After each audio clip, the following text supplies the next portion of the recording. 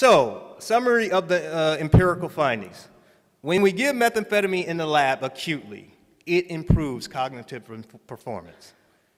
Now, when you look at some of the brain imaging studies, we have noted some differences. But these differences may be within the normal range of human variability. And the notion that methamphetamine users are impaired is simply not supported by the weight of the scientific evidence.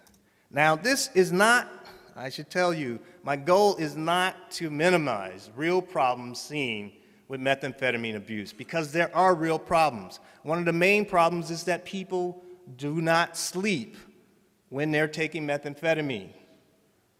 Now, if you don't sleep and you're not taking methamphetamine, you will have problems. Sleep is one of the most important human functions. So that is real, very real. I don't want to minimize that, but what I do want to highlight is that many of us researchers, we find what we look for. So when we think about the lost key analogy, we look under the spotlight because that's where the, that's where the light is shining, and we find typically what we're looking for. We researchers are looking for pathology, disease, illness, and that's what we find for. We're not looking for beneficial effects.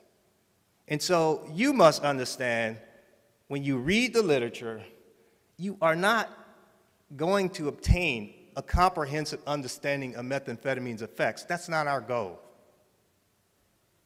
So if you understand that when you're interpreting the literature, we are increasing the intellectual tone of our discussion.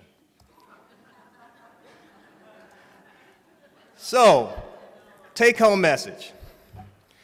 The clinical picture is not as bleak as the anecdotal reports would suggest.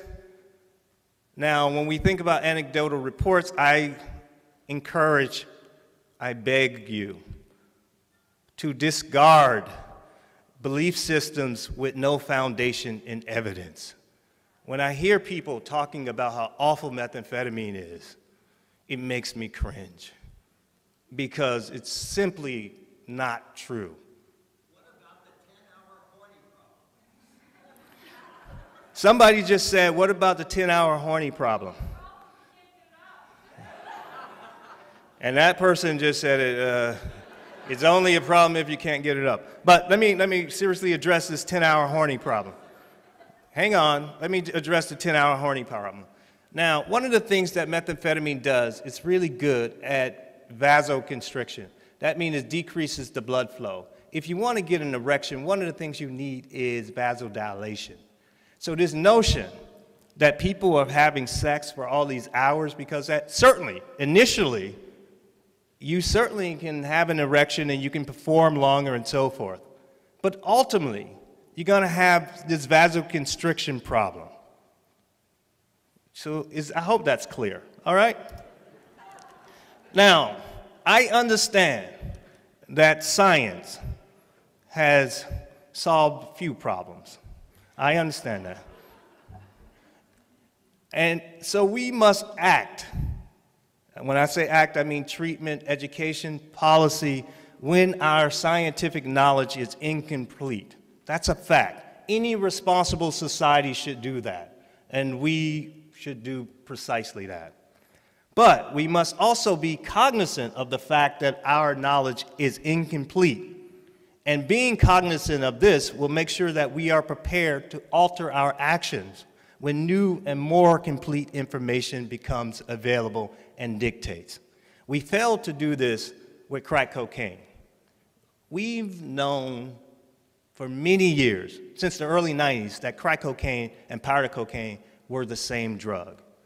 But it wasn't until August 2010 that we had some relief in that awful policy that punished crack 100 times more harshly than powder cocaine. And the relief that we got is still not the solution, but it is some relief. Finally, I'd like to leave you with this note. Use common sense.